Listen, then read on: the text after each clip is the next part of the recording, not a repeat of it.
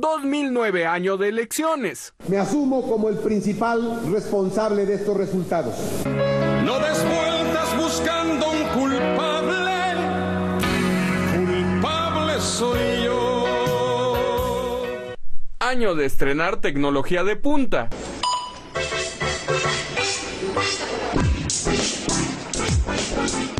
Vamos, vamos a recuperar cuál es la situación de la votación nacional efectiva de acuerdo a nuestro, de acuerdo a nuestro panorama.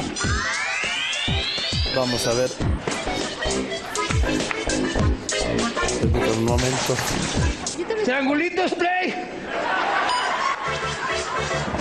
Y vamos a co- recorrerlo hasta acá a ver cuál es la situación. Sin duda hay quien necesita una asesoría de los expertos en videojuegos.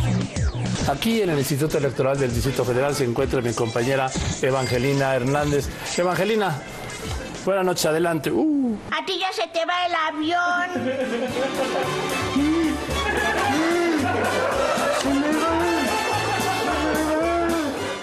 Y de caras nuevas. Porque aquí no dirimimos nuestras diferencias a sombrerazos ni con robos de urnas.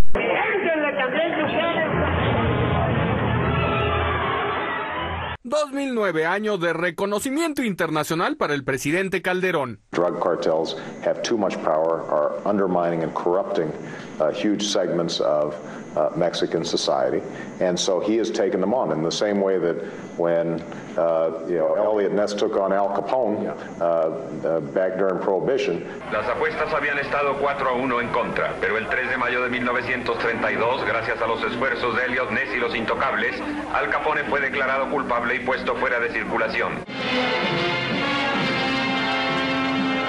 Fue el año de un informe más por escrito. ¿Se puede compenetrar? Aunque no se pudiera, pásele. El presidente entrega a ustedes el informe que, eh, que guarda el estado de la administración pública. ¿Sabe usted de que yo vine, verdad, a verlo a usted eh, personalmente y en persona? Y yo no quiero que se diga que luego que el servicio... Así da gusto, siempre en el cumplimiento del deber. Y del diputado Fernández Noroña, como siempre. Perdónenme el término, pero son unos hijos de la... Oye, Igor, este tipo habla como tú. Al final, esto fue, según dijo, lo más lamentable. Lo único que veníamos era caminando. A mí me rompieron el traje, que es nuevo y es bastante caro, por cierto. Por eso no los uso. Ahora yo, ahora yo. ya ves, ya me robaron la pluma. Cuente, señor, ya. 2009 y el personaje del año, Rafael Acosta Juanito, quien insistía en gobernar Iztapalapa.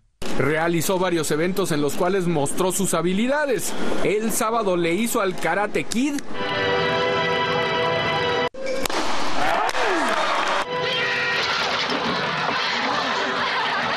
Y el domingo acudió a una exhibición de fisiculturismo donde mostró que está en buena forma. ¡Chúpale, bichón!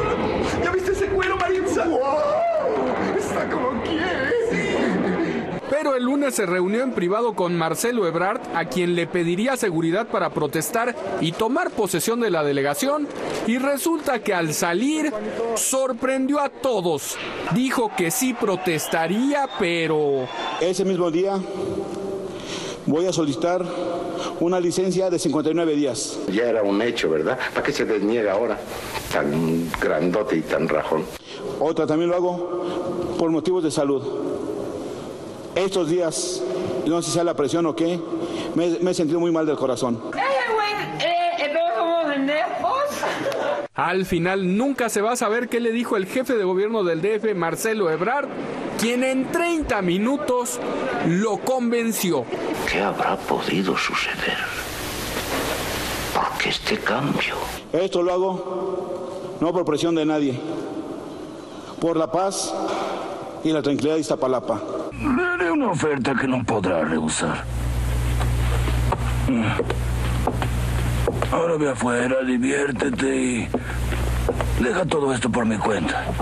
Total, en el último derecho al pataleo, Juanito rindió protesta y aprovechó el último foro. ¡Muera el perro!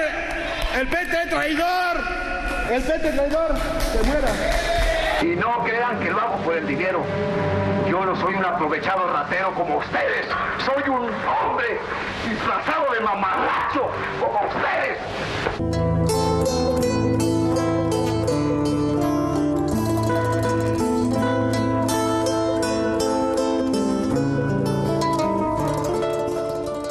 ...2009 años de la peor crisis económica... ...según el secretario de Hacienda Agustín Carstens... ...resulta que pasando por el catarrito... ...su paciente se fue a terapia intensiva. Este es el shock financiero más grande que ha recibido México. ¿Rodi? ¿Rodi te dolió? ¡Mi vida! Los costos de actuar ahora, lo sé, son altos. El país está en crecimiento, Archundia, y el crecimiento duele. Crecimiento, pero de deudas. Y de aumentar impuestos. Se declara aprobado en lo general y en lo particular el proyecto de ley de ingresos de la Federación para el ejercicio fiscal 2010. Les tengo dos noticias. Una buena y una mala. La mala es que desde hoy habrá un impuesto por respirar. Calma, calma. Pero la buena noticia es que el que no respire, pues no paga impuestos. Fue el año de bajar el switch. Lo peor de todo es que las pérdidas económicas venían aumentando año con año hasta hacerse impagables. Voy a apagar la luz para pensar en ti. Y de pagar los platos rotos. Nos sale más barato, señor Lozano, y aquí se lo dejo.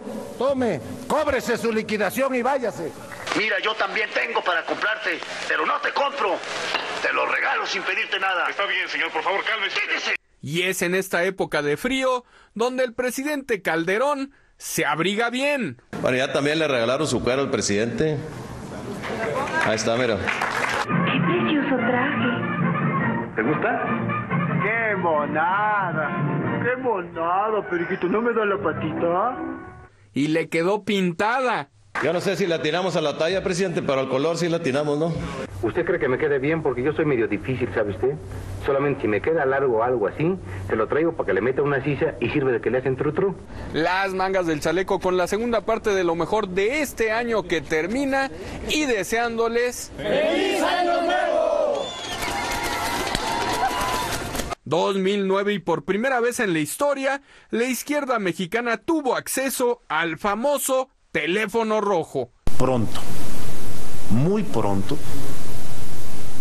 tendré que tomar ese teléfono rojo. Bueno. Para comunicarme con el presidente Felipe Calderón para tocar temas que involucran al Senado. ¿De dónde soy, Antonio? ¿Qué quejo aquí y cómo me llamo? Ay, sí. Mira, ¿qué haces tú allá? ¿Cómo te llamas? Digo, para que estemos parejos. Ah, uh, eres medio gritoncito, hombre. Pues, ¿quién habla? El presidente. Bueno, muchas gracias a Santos Brito.